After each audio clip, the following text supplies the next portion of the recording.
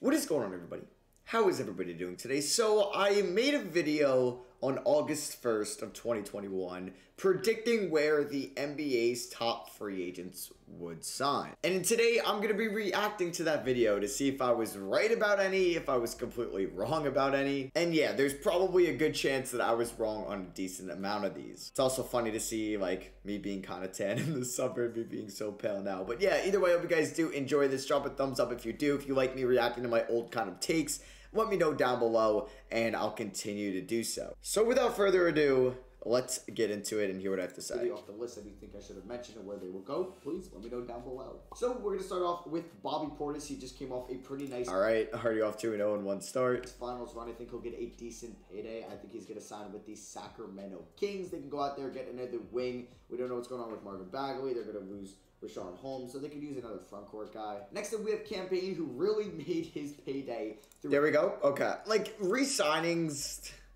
they're like, okay, like, sure, I'll take credit, but like, they're not that impressive. If you're predicting somebody to jump from team to team, then it's impressive. Throughout the 2021 playoffs, being a great backup point guard and sometimes starting point guard for the Phoenix Suns when Chris Paul was out. I think he's going to re-sign with the Phoenix Suns on that four-year, like $48 million mid-level exception that they can offer. That was wrong. I think he got a lot less than that. I don't see him leaving Phoenix, and I think Robert Sarver will pay the luxury tax after re-signing Mikal Bridges and DeAndre Ayton.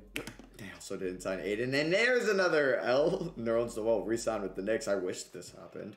Hated the Knicks signing that. is next. He came off a great season for the New York Knicks. Was one of the better defensive centers in the league in 2021. And I think that there's very few teams in the league that do have a lot of cap space. And I think he's looking for that long-term contract. I don't think the Knicks will give it to him because the Knicks are looking for longer cap flexibility. Well, this was completely wrong. Completely wrong because the Knicks were doing the opposite and they gave him a multi-year deal and they gave Fournier and Rose and Burks multi-year So I think he's going to sign with the Spurs on a multi-year contract. They could use some competition in that kind of front court with like no more Marcus Aldridge. It's really just Jakob Poeltl there and like Luka Samanic. They can use another guy in that front court. He plays hard. Pop him. The Miami Heat are going to be signing this next guy, and that is Blake Griffin. Now I could see Blake Griffin just re-signing with the Brooklyn Nets on a minimum, but I think he still wants to get paid a little bit. Okay, so at least I thought that it could happen, but yeah, I'm striking out on a lot of these right now. money. It's looking like that the Miami Heat might decline the option on Goran Dragic. Shams just reported that that's likely to happen. If it doesn't, don't blame me. I'm recording this before this is all happening.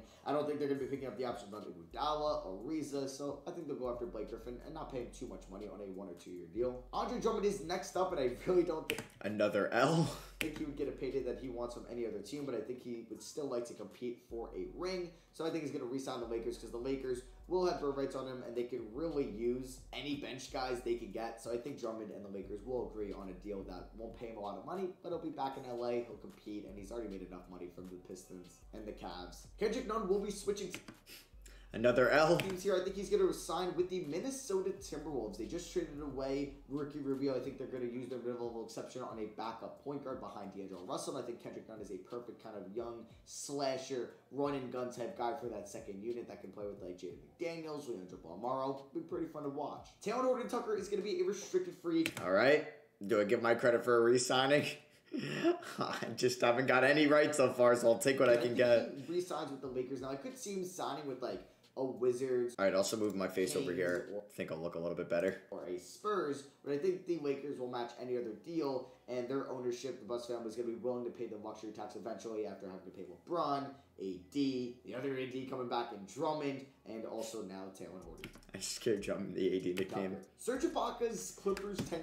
Oh my god, can I get any of these right? I actually don't remember these at all, like what I predicted. So I don't know if I'm gonna get any. Like, I just want one that I get right that I predict from a player going from an old team to a new team. I don't want to keep predicting re signings, those aren't that impressive.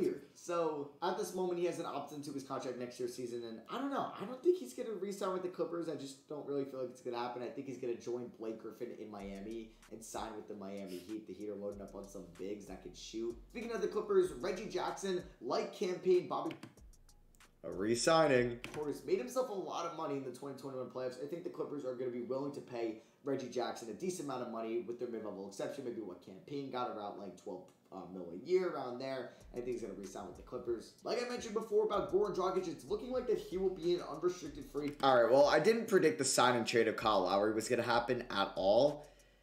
So I didn't, I guess, know where Dragic would sign. I mean, him on the Celtics would have been great. If I predicted like the Nets, that would have been cool because of the buyout thing. But yep, another L for me. For the first time in a little bit, and I think he's going to sign with the Boston Celtics. I feel like the Celtics, after kind of trading away or using their trade exception and Moses Brown on Josh Richardson and kind of getting Al Horford for Kemba Walker, I think they, they need a point guard. They really can't roll into next year's season with like Marcus Smart being the one and Payton Pritchard. I think they need a veteran there, and I expect them to go out and get Goran Dragic. We have Devontae Graham up next. I don't think the Hornets are going to be able to bring back Malik Monk and Devontae Graham. I didn't mention Malik Monk, but here's a bonus signing. I think he's going to re-sign with the Charlotte Hornets, and I think Devontae Graham is going to go to the Washington Wizards. They're going to have a little bit of money after this Russell Westbrook trade. Okay, so I guess the graphic was wrong on this. So I predicted Monk to re-sign wrong, and Devontae Graham to sign with the Wizards wrong. The Wizards went a different direction than Spencer Dinwiddie. So I'm sure I got Dinwiddie wrong as well. They might go after some young shooting in Devontae Graham to help space the floor for Bradley Beal and some of their other guys. Derrick Rose will be a free agent this year for the first time in two years when he ended up signing with the Detroit Pistons. I believe he's going to re-sign with the New York Knicks on a one or two year deal. That it's a two year deal, it will have a team option. I think he likes New York a lot. He had a lot of fun last year, kind of being a leader on the team. They were good. He thinks that they could be good next year as well. He likes Tom Thibodeau. I think he'll be a Knick next season. Lauri Markkanen will be a restricted free agent, joining also Another wrong prediction here. so Kendrick Nunn, who I believe is a restricted free agent that we've mentioned so far, and Taylor Horton Tucker, as well as Devontae Graham. And I think that Lauri's going to re-sign with the Chicago Bulls. I don't really know if a team's going to go out there and give him a lot of money and the Bulls will be matching it, but I think the Bulls will get something done with him after they go after maybe a big fish, a big point guard that we'll mention maybe in a little bit. So I think that they're going to be able to bring back Lauri Markkanen on a long-term deal, a three or four-year deal. Not sure how much though. Is he going to get 20 mil a year? Is he going to get 15? Is he going to get 25? I'm not really sure Okay, 25 was a lot, but what do you get? Like 15 around there? where his market's at. Next up, we have Will Barton, who is going to, I believe, opt out of his player deal. I think he's going to work on a deal with the Denver Nuggets and go back there on a multi-year contract. They are paying Jamal Murray, and Nikola Jokic a lot of money right now. They're going to have to pay Mikel, uh, Mikel, Michael Porter Jr. Uh, this offseason pretty much if they want to because he'll be a restricted free agent next year. Who knows? They're going to probably work on like a super max for Jokic, but I still think that they're going to go over the luxury tax for now or go up against the hard cap for Will Barton, maybe on a one-year deal or two-year deal to try to make a run at it all next year. Big free agent here who I think is going to get a multi-year deal, making about like 15 to 18 million. I think didn't Richaun Holmes get like four for 40 or four for 48? He didn't get like as much as maybe I thought, which makes sense for his kind of positional skill set. Uh, but yeah, he re-signed with the Kings. I thought he would go to the Thunder. I thought the Thunder would use their cap space. They didn't at all, really. Now he's in that's with Sean Holmes. I believe he's going to sign with the OKC Thunder. The Thunder didn't really add any big man throughout the draft. Now, yes, they do have Pokusevski. They do have Darius Bazley. They traded away Al Horford. They traded away Moses Brown. I think they're going to go after that five. Maybe they'll be in a Jarrett Allen market. Maybe they're going to be in a Nerlens Noel market, who I already mentioned. But I believe that they're going to lock up Richaun Holmes on a multi-year deal because it's looking like he will not be going back to Sacramento. And I should have mentioned this before about Sacramento, but I know they got Tristan Thompson. Oh, and I guess also for the Celtics, yeah, like Kris Dunn, I don't think they go in next year's season with Payton Pritchard and Kris Dunn. Kind of forgot to mention that three-team trade. I forgot that happened. There's been so many deals going down. We have Kelly Oubre up next, looked Wait, so I knew Kris Dunn got traded, but then I still pred- I don't even know. But Kelly Oubre go to the Knicks. Okay, I guess this was me predicting a forward or just a wing to go to the Knicks, and I picked the wrong one. Evan Fournier ended up signing. I chose Kelly Oubre. I mean, on the contracts they got, I would rather have had Kelly Oubre. He's going to be signing with the New York Knicks. Either it's going to be a one-year deal with a high AAV, similar to like JJ Redick's contract with the Sixers a couple years ago. The Knicks could give him one year, twenty-five mil, twenty million dollars, and just help them compete next year while still leaving some cap flexibility open next year. Kelly Oubre can come to the Knicks, but Maybe that wouldn't have been a bad idea. Maybe that would have been a bad idea. Kelly Oubre got twenty six million guaranteed from the Hornets. I would have gave him twenty two million dollars, twenty million dollars just for one year, than giving Fournier seventy two or giving him uh, what is it like fifty eight, uh, sixty million dollars because the fourth year is not guaranteed. Yeah, yeah. all right, I'd have a pretty big. I still stand by that. I mean, I feel like I kind of had a good vision for the Knicks. Now I I messed up on a lot of things, and you could even see these predictions were very wrong. But uh, me saying the Knicks should not extend Randle, they did. Um, who did I want the? Well, I mm, I kind of messed up the Knicks draft. I, I would have been happy with Kai Jones and Keon Johnson, and I think I'd rather have Quentin Grimes over both them at the moment. I can make or play myself a little bit better than I did last year and work on that multi-year deal in 2022 free agency. So I think it would work out for both sides, and I think that Kelly Oubre will be signing with the New York Knicks. Evan Fournier was traded from the Magic to the Boston Celtics this past season at the trade. Oh, uh, little did I know. Come on, I believe he will be re-signing with the Boston Celtics. They went out, they got Josh Richardson to help their bench a little bit, even though I think I'd rather them kept Moses Brown. Really like that pickup for the Dallas Mavericks. They are going to be bringing back Evan Fournier, in my opinion. He was pretty solid for them. He's been playing great overseas in the Olympics.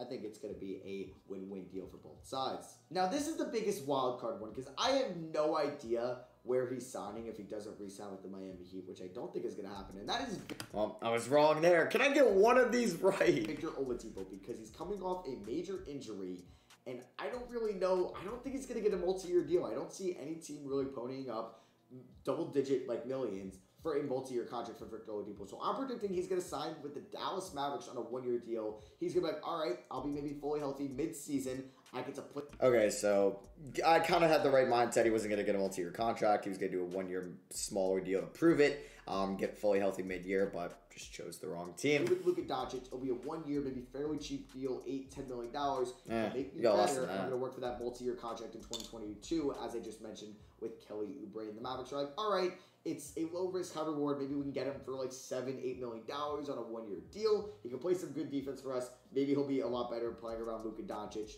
We'll see what goes. We have the Knicks signing their second guy in this video, and that is going to be Uh. Spencer Dinwiddie. I think Spencer Dinwiddie will get a one or two year contract similar to Kelly Oubre with a high AAV that can help the Knicks compete next year's season, but still leave a little bit of cap flexibility. To be honest, I still wouldn't have. I'd rather have preferred this offseason from the Knicks. You let Noel walk. You re-sign. You have a Rose Dinwiddie like back or uh, point guard rotation. I like that. You have like Rose Dinwiddie, and then you have Barrett, Oubre, Randle, Mitch, Rob. I, yeah, I'd have preferred that over this team right now. for 2022 or 2023 as the Knicks are. I mean, Dinwiddie struggled in Washington. I mean, there was some locker room things. He's been playing well in Dallas so far, though. get back in the playoffs next year. They might lose some of their free agents. I have them losing Nerlens well. We don't know what's going on with Bullock or Burks. And also one more thing, I think he was asked to do a lot for Washington, especially when Bradley Beal was out. Like Barrett and Randle, I mean Barrett had a little bit of an injury um, at some point where he missed a couple games going into the All Star break, but Barrett and Randle stayed healthy for most of the season. So like, and like, well, you didn't expect D Rose to get hurt, and like. Yeah, you would have had maybe Oubre on the team. Like did Dinwiddie wouldn't have been asked to like be a top scorer. He wouldn't. He would have been like that facilitator. He's been great in the clutch for Dallas. I don't know. Would I have rather had Dinwiddie? I mean, if I could have had Dinwiddie, you sub out Dinwiddie for Fournier and you sub out Noel for Oubre, especially if Dinwiddie's. I don't know if his third year is fully guaranteed. If it is, then him and Fournier are very similar because Fournier's contract is basically a three year deal. Um, but if it's like a two year with a third year partially guarantee, ah, but didn't Dinwiddie get like three for 60? That is a lot. But like Fournier's what, like two, three million less? the Knicks. They've been in the market for Spencer Dinwiddie Dennis Schroeder. I think they prefer Dinwiddie. And Dinwiddie's case, he's probably trying to prove everybody that he was the guy before he got hurt. He was a borderline All Star for the Nets in 2020, and he could probably realize, still being that big market, a lot of eyes on me. We can compete for a playoff spot next year, and like Oubre, try to get that new long term deal in 2022 or 2023. So the Knicks are adding Derrick Rose, or bringing back Derrick Rose, I should say.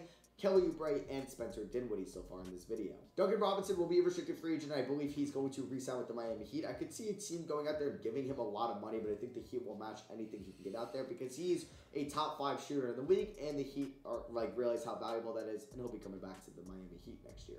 Dennis Schroeder is also kind of like a Victor Oladipo one. I don't know where he would sign if he doesn't sign with the LA Lakers. Apparently, the Knicks are interested. I'm just maybe being in denial, and I don't want to see that happen at all unless it's like a one year contract. So I think that the Lakers, like I mentioned before, that they're going to pay the luxury tax. So I think they're going to bring back Andre Drummond. I think they're going to bring back Taylor Horton Tucker. I think they will also bring back Dennis Schroeder, pay him a decent amount of money to be their sixth man next year. Norman Powell will be a free agent for the Portland Trailblazers. This will actually be kind of a bonus one as well. Gary Trent Jr. I think they're both going to re-sign with their teams. Norman Powell going back to the Blazers and Gary Trent Jr. back to the Raptors. They it just makes sense. Jarrett Allen is up next, and I think he's going to re-sign with the Cleveland Cavaliers. Now I could see like I think the Cavs are going to match any deal most likely, and I could see him getting traded next offseason because I think the Cavs want to see how him and Evan Mobley work out in that front court. If it works out well, yeah, he's going to stay there for the remainder of his contract. But if it doesn't, then I think it could be like a one year deal. Not like a one year deal, but he plays for one year and then gets traded and only plays one year of that contract. Lonzo Ball is next. And yes, since I had the Nick. Okay, I kind of just zoned out there for a second. Like me just trying to think, like, am I going to get any of these right? Norman Powell got right. Jarrett Allen technically got right. Lonzo Ball. Whoa, wait! I got one right. I, it took us 10 minutes into the video 10 minutes into the video where I finally predicted somebody to go from an old team to a new team. Not like a one year deal, but he plays for one year and then gets traded and only plays one year of that contract. Lonzo Ball is next. Let's and go. Yes, since I had the Knicks getting Spencer Dinwiddie, I don't think he's going to sign with the New York Knicks, unfortunately. I Yeah, I really wanted Lonzo to the Knicks, but I don't know what the hell the Knicks I were thinking. will. I really wish he would. I wish the Knicks would go after him. I would give him a multi-year contract because he's that good. He'd make us that much better. He'd make Randle better. He'd make RJ better, Mitch better, Obi better, Quickley better, Grimes better. But I don't think that the Knicks are going to do it because it just seems too good to me. So I think he's going to sign with the Chicago Bulls on like a four-year, 80, 90 million dollar contract, close. and I'm going to be super jealous. Mike Conley's up next. The Utah Jazz have been clearing up or trying to get under the luxury tax as hard cap to go out and get Mike Conley. I think that's like that's pretty much a done deal already. He'll be going back to the Jazz on a two or three year deal. John Collins is next. I think there's going to be a lot of suitors out there. Maybe the Knicks will get involved, the Spurs, the Kings, the Mavericks, but I think the Hawks are going to match his deal Okay, I'm intrigued because I probably had Kawhi going back to the Clippers. I'm intrigued where I had DeRozan going as a restricted free agent. as we're getting to the bigger names. And Lowry. Where did I have Lowry? I think I might have had Lowry going to either New Orleans or Dallas. be a Hawk next season. DeMar DeRozan is Mmm, damn it.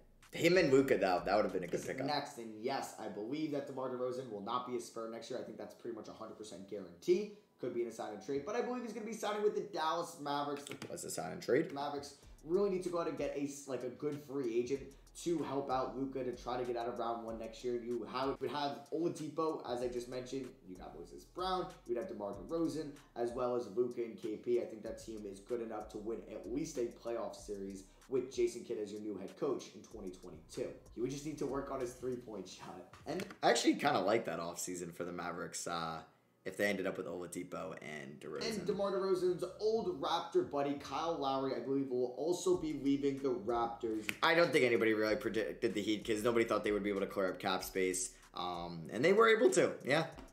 It shocked a lot of us. been there for so long, but I think he's going to sign with the New Orleans Pelicans. I think it would come down to pretty much the Miami Heat or Pelicans, and I think the Pelicans are Oh, I did mention the Heat. Oh, shit. Okay, I'll take just that. going to pony up a lot more money. This was pretty much set in stone that they wanted to go after Kyle Lowry when they traded away Eric Bledsoe and Steven Adams. They want to get Zion Williamson that playoff experience. They want to at least get Brandon Ingram some playoff experience as well since he hasn't been in the playoffs yet in his young career. And Kyle Lowry said it's not really all about the winning at the moment. It's really about the years and the dollars because he already got his ring. He still like to compete, but he wants to get that long-term security under his contract and still get paid a lot of money. And I could see that happening with Pelicans. And then the last two are going to be opt-ins with their kind of current team. I think Chris Paul and the Phoenix Suns, he will opt out, but they will work on like a three-year, $90 million contract and he'll be back on the Phoenix Suns. And then the big fish out there, I don't think he's switching teams. Yeah, Kawhi Leonard, I believe he's probably going to opt in and then just see how the Clippers do this year and probably work on a new extension at the end of this year's season. Or Yeah, no, he got it done at the beginning of the year. So, yeah, throughout all those, I, I didn't do well. I mean, free agency predictions are tough, and the only one I got right of a guy switching teams was Lonzo Ball. I, I did mention the Heat for Kyle Lowry, but clearly I wasn't uh, enough balls to pull the trigger on that one. So yeah, you can see how tough these are. Like you can make fun of me down below. You can let me know if yours were any bit different this year. I was actually looking at this list today of the free agents upcoming, and it's a like not a great list. Honestly, like a lot of player options. Like Wall's gonna opt in, Russ is gonna opt in. Beal might opt out, but a supermax is coming. Kyrie said he wants to re-sign in Brooklyn. Harden, I think, already opted in, or either way, he's probably going back to Philly. Um, and then, like, the next big name is Zach LaVine. I don't know why an extension hasn't been done with Zach LaVine yet. Like, pay this man, give this man 35, 40, mm, yeah, give him 35 mil a year. If he becomes a free agent, would be kind of nuts if he wants out. I don't think so. He's a big market on a good team that still has a future.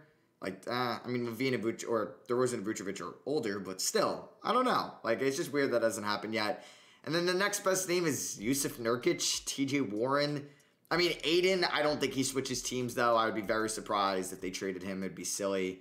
Maybe if they win it all, Sarver would be like, screw it. I got the ring. I don't really need to sign Ayton, Um, so let's trade him. Don't know. Maybe there's stuff like that out there that happens. Collin Sexton is another semi big name that could switch teams. Yeah, it's not the greatest free agency class ever. I wouldn't say. I mean, at a pure like talent up here at the top, it might be better than last year. But like possibilities of switching teams. I mean, like I think Beal gets the super max. I don't think Kyrie leaves.